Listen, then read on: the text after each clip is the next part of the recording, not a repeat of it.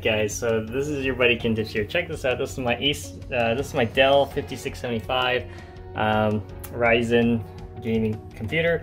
The power supply it originally came with is this right here. As you can see, it's a very poor power supply. It is finally kaput on me. It, the computer started malfunctioning. Um, I would get these weird errors, and then uh, the power button now does not even turn it on. So yeah, it's totally dead now. So what I have here is a Corsair uh, 850 power supply.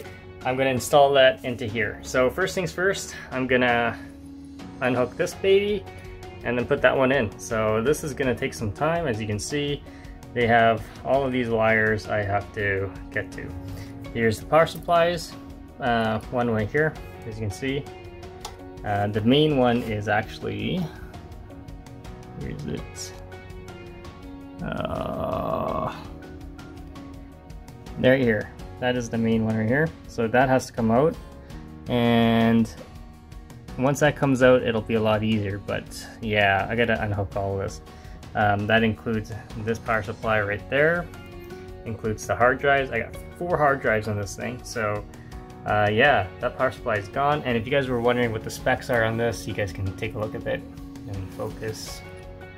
It is a Dell, um, what's that say? Switch power supply, parts uh, 240 volts, 100 to 240 watts are, uh, where is it? I read it here. So I'm reading upside down, guys. Let me see what it says. It is a, I think this was like a 3 460 or something. Uh, yep, 460 right there. It's a 460 power supply, but it um, oh, total max wattage 385. Sorry, 385. Right there. I don't know, it's kind of blurry, but it's 385. So, um, so yeah, we got to get this out and put in a little bit more. So I'm gonna unhook this. So if you can see here, there's a couple of screws on this side right there that have to come out. That's what hook, that's what's holding it in. So I'll be right back. Okay, so I unscrewed all the screws in the back here. Okay, and then you push the lever down on here, right there, to unhook this, and it slides right out. So before I can slide it out, I'm gonna un unhook all these cables right here, like that one in there. So uh, give me one second, guys. I'll do that. All right, as I guess, as I told you, this becomes difficult. I already unhooked this part right there. As you can see, it's loose. This is, these cables are strapped in pretty damn close. So, um, as you can see, they're buckled in with the plastic there. So, uh, it's gonna be a pain in the ass, so I'll be right back. All right, so I got the clips off. The clips actually come off like this. As you can see, you just put some pressure there and it'll pop right off. So, uh, the clips are off and I'm gonna pull the wires out. Alright guys, so I got most of these wires out. I got the big one out here. Um, there's a little one here that's a pain in the ass to get through, so try my best. It's gonna take some time. Alright, so I got most of these cables out here. As you can see, this is out, most of it. I'm still working on a couple of plugs in here, so. Alright, so the power cable is totally out now. The power supply is totally out. As you can see, here's the piece of junk that it is. Uh, this is not useful. It doesn't even start anymore. Uh, this is what I'm replacing it with. It is a Corsair TX85. Check that baby out. Alright, let's do this.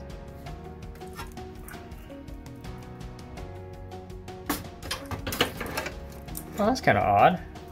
The fan I have is there, but uh, the outlet is on this side, so... Alright, I gotta fix this here. Alright, so here's the problem with this uh, Corsair. As you can see, it doesn't fit that gap completely flush, so... Hmm... Like, I can get by with it. There's a there's a plug-in here, but there's an auto switch there. This grate here has to be changed. I don't know how I'm gonna do that, so... Uh, without destroying this thing. Hmm. So this is the problem that I run into is this grate. Okay, so there's the on and off switch right there. Uh, I might have to break this grade down. Um, I'll just maybe use some something to cut this plastic down. It's the only way I can get it to fit. Um, yeah, it's not gonna look the greatest, but this it's not like this plastic part can pop off. Hmm. Well, there's the problem, guys, right there. So, piece of junk. You know, Dells are nice, but the cases are not universal. This is the problem. You're better off getting a pre-built or a custom PC so parts would fit easier.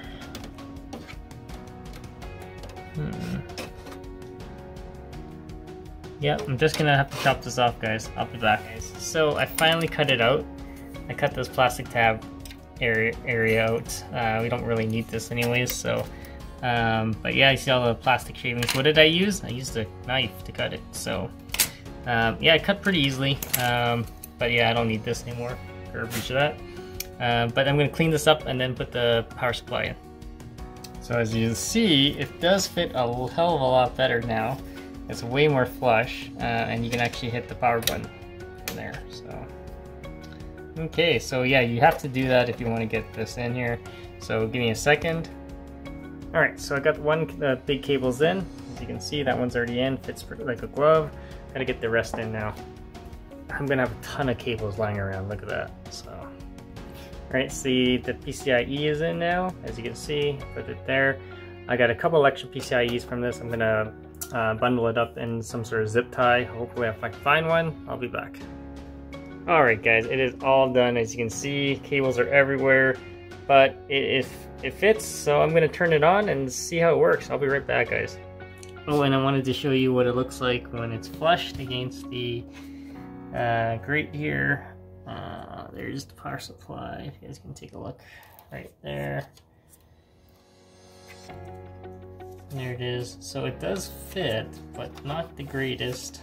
Um, yeah, that's why I don't like these custom case. I, I rather have a regular case so fit, things can fit better. Alright guys, I'll be back plugged in, and as you can see, it is totally powered up. It does work uh, with the with the regular ATX power supply. I always get questions, people asking, does a regular power supply work? Yes, a regular power supply works. It just might not fit properly, but uh, it works. Alright guys, stay tuned for more videos. Forget to subscribe to the channel, and um, thumbs up video, and we'll see you on the next one.